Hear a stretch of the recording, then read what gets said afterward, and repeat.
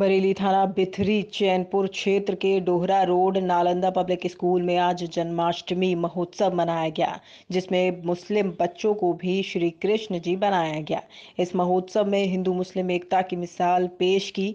School के टीचरों ने बहुत भावुक होकर बच्चों की प्यार किया और आगे भी अच्छा कार्यक्रम करने की प्रशंसा की और मुस्लिम बच्चा मुंतजीर अली को कृष्णा जी बनाया गया।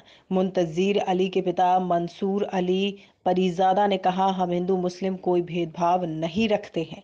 इसलिए हमने अपने बच्चे मुंतजार अली को कृष्ण जी बनाया है।